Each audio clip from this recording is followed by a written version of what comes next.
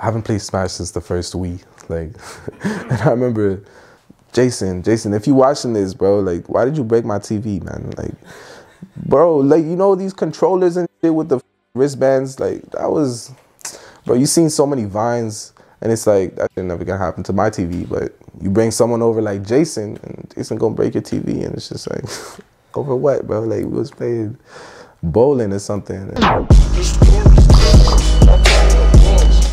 What's good, guys? You're watching my interview with Push the Wall. Make sure y'all check this out. Leave a like, comment. I hope y'all get to know me a little bit more after watching this. I grew up everywhere, bro. I grew up in the Middle East mostly. Um, I moved to Canada when I was 14. Started high school here um, because my parents wanted. Situations wasn't good in the Middle East when I moved, so it was kind of like my family's retreat, sort of. Um, and then I grew up here in Toronto. Um, I lived in Burlington for a bit. And I just moved down with my family until I moved out when I was 17. And that was like one of the biggest things for me is like coming to a new country and just kind of moving out, feeling like I have to be independent. See, it's hard, bro. I'm like trying to pay attention and play because like I'm first and it's nervous, but um, so yeah, like I grew up in two different places. I switched almost damn, I switched high schools in grade nine. I switched high schools in grade 11. Like, I switched like three different middle schools. So I've been all over the place. But the difference between being in the Middle East and Canada, it's huge, bro. And that's like one of the biggest motivations for me is that I came here and now I'm able to do this music stuff. Like, I'm able to be a creative here. And it's so much easier because there's so much more support in where we are today. And a lot of people take that for granted. And just that's just one thing that I wanted to point out that if you're not from the Middle East, if you're not from these areas where it's harder to be a creative, it's hard to lose appreciation and say like, oh, like I'm here, I'm doing what I want to do, and nobody's judging me, nobody's saying anything. So I think that's kind of cool. So growing up, music wasn't part of my life. I never, like, I miss. I feel like I missed out a lot on old school rap, like old school music, um, influential music. Like I never even listened to Alicia Keys or Adele growing up. I never listened to 50 Cent. Like it was only until I was 16 that I kind of got into it and started. I remember I had an iPod, one of them small ones, like the square ones, and I had the headphones plugged in. And it was just like I was torrenting music off of LimeWire. I was maybe like 14, 15 but I remember the only songs that I was exposed to was like mainstream radio songs, like Iyaz, Replay, like Akon was big during the time, you know. That's all I listened to growing up. I started getting into rap, you know. I was a big Eminem fan. I was a big 50 Cent fan when I was 15. Who else? Andre 3000, Kanye West, like those were big influences on me growing up. And I feel like during my teenage years, like I started music when I was 17. So it was, it didn't take me long to get into the music scene after I got exposed to it. So I feel like that's one of the factors that it's like this is for me. Like I want to do it so bad. Like it's it's it's there. I want to chase it. And being here in Canada, it was it's a blessing, man. Like all the people around you and stuff. It's just it's humbling. It's humbling. I'm not even good at it, bro. Like I'll tell my friends, like, yo, I'll slap you in 2K, and then it's like when it's time to play, I'm like, yo, I'm, I'm a little bit, you know, I'm tired, bro. Like you got an Advil or something. Like my head hurts. Oh my god. Okay, so my rap name is my middle name, Junior. Um, when I first started, like I was I was taking it very very slow. I didn't know like what my rap name was gonna be, so I just used my name. Um, and that that didn't work out really well. So I was like, okay, I need I need a one letter thing that is genuine. That's me. And Junior is pretty much my other personality. It's my second person. It's my it's just my alter ego. And the reason I put the V in there is because it's easier to search online. Like it's harder to pronounce, but it's easier to search online. So I played RuneScape for a bit. That was that that was a big underrated game. That was like fifth grade, like sixth grade, and then I stopped playing like video games until like I got into Call of Duty a little bit. I got into you know like everybody was playing them kind of games, but I was always a PS4 fan. So you know any any PS4 games that came out, I was always on top of that, like 2K, FIFA. But I, I wasn't really a huge gamer. Like I would buy the games. I would be like, yo, I copped the newest game, I whatever. I didn't play it. Like I was trash. I just never.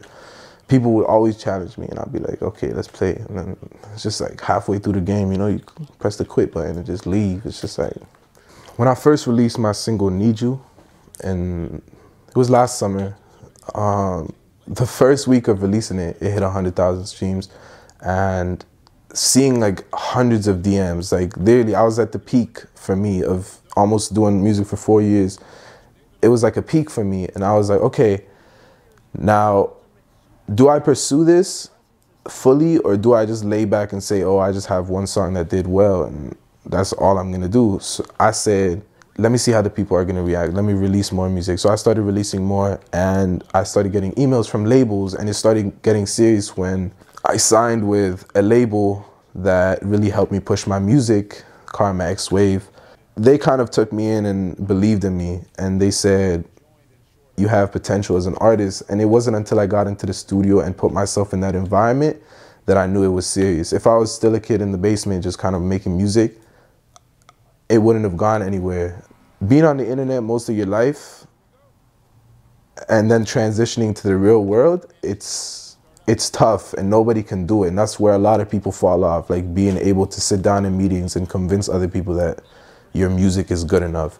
Because there's a lot of good music out there. There's a lot of good artists. There's a lot of talented people, but it's only a few people that can sit down in meetings and walk out with a hundred thousand. Like very, very few people. And a lot of these people aren't the best at making music, like if I'm being honest.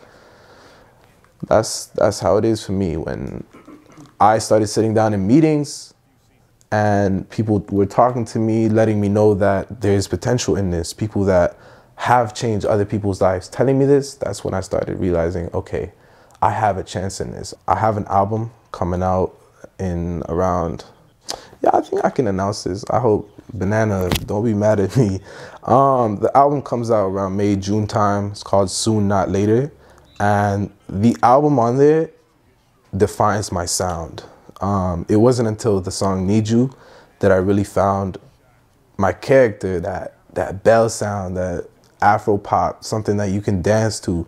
You could play this music anywhere and still vibe out to it. I always want to feel like my music is giving joy or some kind of emotion. A lot of people will take the music differently based on the vibe, but bro, figure out your sound as an artist, it takes time and it's hard because like as an artist, it's, it's hard to satisfy us. It's hard to tell us like this is good enough. It's never good enough. It's really never good enough. Like you will switch up 50 flows on one song just to get the right.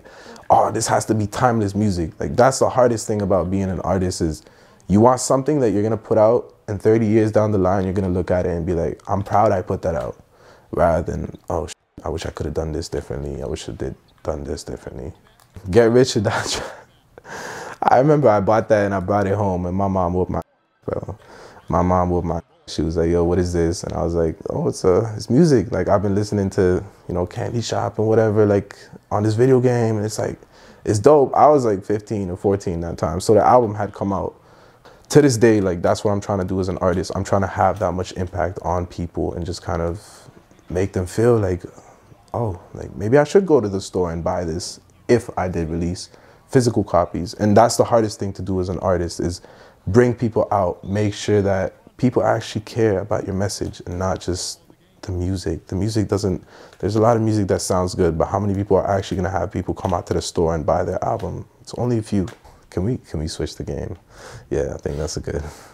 I haven't played Smash since the first Wii. Like, and I remember Jason, Jason, if you're watching this, bro, like, why did you break my TV, man? Like, bro, like you know these controllers and shit with the fucking wristbands, like that was, bro. You seen so many vines, and it's like that shit never gonna happen to my TV. But you bring someone over like Jason, and Jason gonna break your TV, and it's just like, over what, bro? Like we was playing bowling or something, and you listen to it, and it really hits you differently. Like I get DMs different every single day just people telling me how it affects them differently like oh this music is like great to work out to bro like i've been trying to lose weight and this has like my, been my motivation or like people telling me that oh i love seeing you grow it's so inspirational like it helped me like chase my my dream of learning how to play the piano or whatever and it's just like it's cool to see that. You know, it's cool to see that my music that started out from the basement is now kind of affecting people. And to me, I don't feel like I've hit my potential yet. I haven't even touched the surface of what I'm able to do. And it's just exciting. Honestly, right now, I feel like uh, there's a lot of support. A lot of people are supporting each other. I know, shout out to AR Paisley, shout out to Kevin Rowley, shout out to Yung Tory. I've seen him out in LA recently. There's a lot of people that are kind of working together, and it's just like Toronto is a city filled with artists. There's so many artists coming out of Toronto, and it's like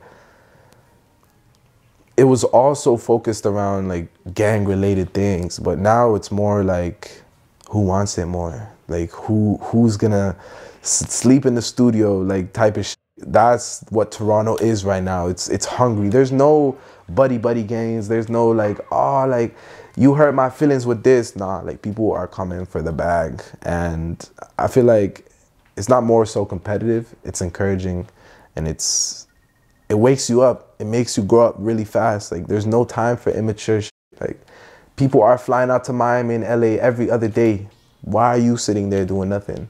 And that's what the Toronto scene is. It's more about challenging you as an artist. It's not it's not here to to put you down and kill your feelings or make you feel like shit. it's more so a wake up call that there's a lot of hungry people and only a few will really make it to the top. And I feel like, honestly, the Toronto scene is not hard to make connections because one person will know 100 people and 100 people will know 1,000 people and it, the list just goes on. So if you're not weird, if you're not awkward and you're able to talk to people, I think it should be pretty easy to maneuver your way around, but it takes more than talent, it takes more than hard work to, to make it in a city like Toronto the reason it was my worst job is because I had to like portray a fake, like fake, fake personality and just let people know like, oh, hey, I'm selling you this. Like, it's great because I think it's great and like not because it's actually great. I was selling like random products and I had to like put on a specific face to kind of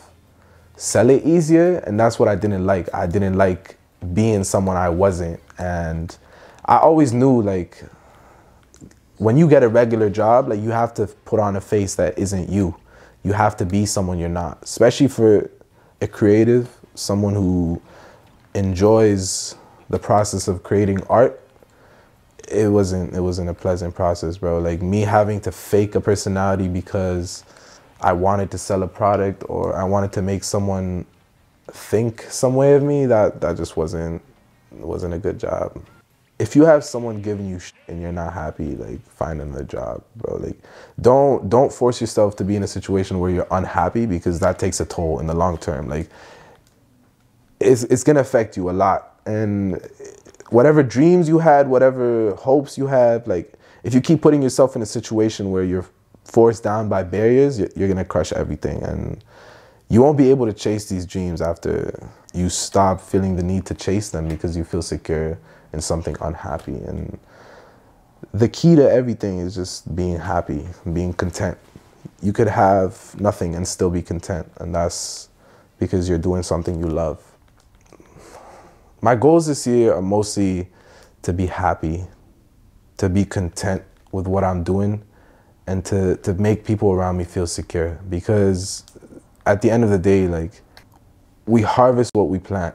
And when you plant something, it takes time for you to harvest it.